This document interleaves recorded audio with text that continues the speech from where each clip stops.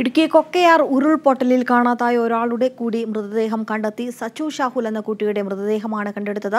വീട്ടമ്മയായ ആൻസി സാബുവിന് വേണ്ടിയുള്ള തിരച്ചിൽ തുടരുകയാണ്. കാണാതായ എട്ട് പേരിൽ ഏഴ് പേരുടെയും മൃതദേഹം ഇതിനോടകം തന്നെ കണ്ടെത്തി ആറു പേരുടെ മൃതദേഹം ഇന്നലെ കണ്ടെടുത്തിരുന്നു. മന്ത്രി റോഷി അഗസ്റ്റിന്റെ നേതൃത്വത്തിൽ അവലോകന യോഗം പുരോഗമിക്കുകയാണ്. വിശദാംശങ്ങളുമായി സമീർ വഴങ്ങോട് ചേരുന്നുണ്ട്. സമീർ നേരത്തെ ഇന്ന് രാവിലെ സച്ചു ഷാഹുലിന്റെ മൃതദേഹം കണ്ടെത്തിയിരുന്നു. ഇന്നലെ ആറുപേരുടെ മൃതദേഹവും കണ്ടെത്തിയിരുന്നു. ഇനി ഒരാളുടെ കൂടിയേ മൃതദേഹം അല്ലെങ്കിൽ ഒരാളെ കൂടിയേ അവിടെ നിന്നും കണ്ടെടുക്കുവാനുള്ളൂ. ഏത് രീതിയിലാണ് ഇപ്പോൾ തെരച്ചിൽ പുരോഗമിക്കുന്നത്? ഒപ്പം തന്നെ മന്ത്രി റോഷി അഗസ്റ്റിന്റെ നേതൃത്വത്തിലുള്ള അവലോകന യോഗം ഇപ്പോൾ എങ്ങനെയാണ് പുരോഗമിക്കുന്നത്?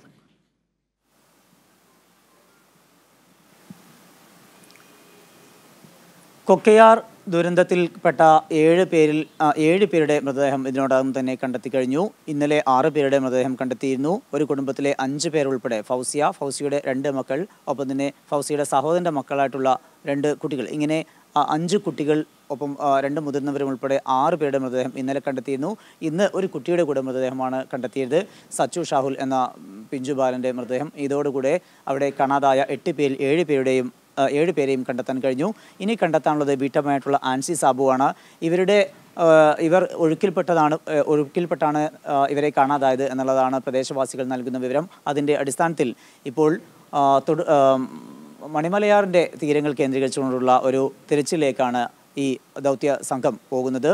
പ്രധാനമായും ഈ നാട്ടുകാരുടെ ഒരു ഇത്തരത്തിലുള്ള വിവരങ്ങൾ നൽകുന്നു. അതോടൊപ്പം തന്നെ ഇന്നലെ കാണാതെ ഇന്നലെ കഴിഞ്ഞ ദിവസം കാണാതായവരിൽ ഇന്നലെ കണ്ടെത്തിയ ഒരാൾ ഷാജിയാണ്. ഷാജിയുടെ മൃതദേഹം മണിമലയാറിലൂടെ ഒഴുകി കിലോമീറ്ററുകൾ താഴേക്ക് പോയിരുന്നു. പിന്നീട് അവിടെ വെച്ചുകൊണ്ട് മുണ്ടക്കയം ഭാഗത്ത് വെച്ചുകൊണ്ടാണ് ഷാജിയുടെ മൃതദേഹം കണ്ടെത്തിയത്.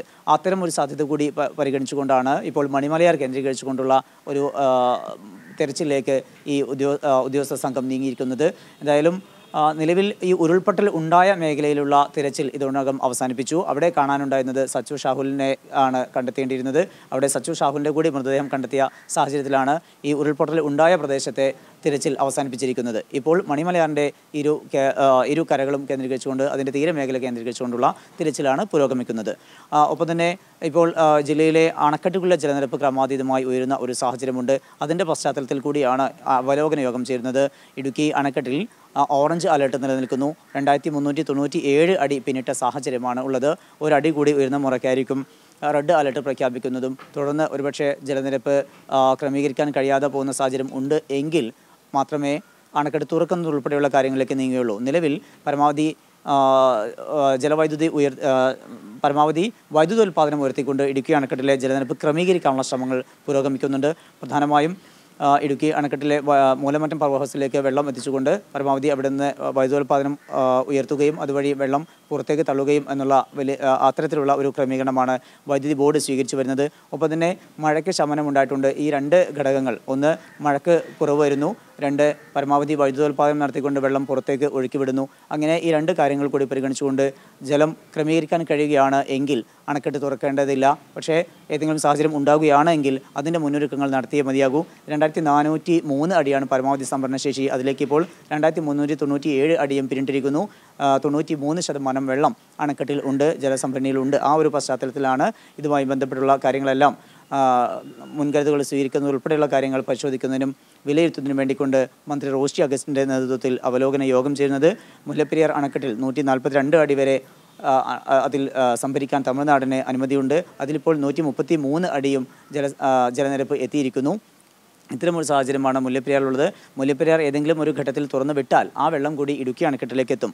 അത്തരത്തിലുള്ള ഒരു സാധ്യതയൊന്നും നിലവിലില്ല. പക്ഷേ ഇനിയും ഇതുപോലെയുള്ള ന്യൂനമർദ്ദം ശക്തി പ്രാപിക്കുകയോ ഏതെങ്കിലും വിധത്തിലുള്ള ഘട്ടത്തിൽ മഴ കനത്ത് നീരൊഴുക്കും വർദ്ധിച്ച സാഹചര്യം ഉണ്ടായാൽ അത്തരം ഒരു ഘട്ടത്തിലേക്ക് പോകേണ്ടി വന്നേക്കാം. അങ്ങനെ എന്തെങ്കിലും സാഹചര്യം ഉണ്ടാവുകയാണെങ്കിൽ അതിനുതകുന്ന വിധത്തിലുള്ള ക്രമീകരണങ്ങൾ സ്വീകരിക്കുന്നതിന് സർക്കാർ നിർദ്ദേശം നൽകുന്നു. അതിന്റെ ഭാഗമായിട്ട് കൊണ്ട് അതിന്റെ ഭാഗമായിട്ട് തന്നെയാണ് ഈ യോഗം പുരോഗമിക്കുന്നത്. യോഗത്തിന് ശേഷം മന്ത്രി റോഷി അഗസ്റ്റിൻ ഇത് സംബന്ധിച്ച് കാര്യങ്ങൾ വിശദീകരിക്കും. ഇതിനോടൊപ്പം ഇതിനോടകം തന്നെ ജില്ലയിലെ നാല് അണക്കെട്ടുകളിൽ റെഡ് അലർട്ട് പ്രഖ്യാപിച്ചിട്ടുണ്ട്.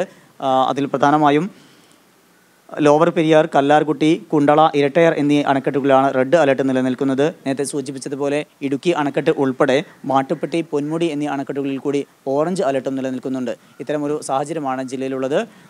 കൂടുതൽ മഴ കനക്കാനുള്ള ഒരു സാധ്യത ഉണ്ട് എങ്കിൽ ആവശ്യമായിട്ടുള്ള ക്രമീകരണങ്ങളുമായിട്ട് മുന്നോട്ട് പോകും. നിലവിൽ ഇത് സംബന്ധിച്ചുള്ള തീരുമാനങ്ങൾ ഈ അവലോകന യോഗത്തിൽ മന്ത്രി വ്യക്തമാക്കും. ഒപ്പം തന്നെ ദുരിതാശ്വാസ ക്യാമ്പുകൾ കൂടുതലായിക്കൊണ്ട് തുറന്നിട്ടുണ്ട്. കഴിഞ്ഞ ദിവസം ഉണ്ടായതിനേക്കാൾ കൂടുതൽ കഴിഞ്ഞ ദിവസം പതിനേഴ് ക്യാമ്പുകളായിരുന്നു ഉണ്ടായിരുന്നത്. ആറ് ദുരിതാശ്വാസ ക്യാമ്പുകൾ കൂടി ജില്ലയിൽ തുറന്നു. ഇങ്ങനെ ഇരുപത്തി ദുരിതാശ്വാസ ക്യാമ്പുകളാണ് ജില്ലയിൽ പ്രവർത്തിക്കുന്നത്.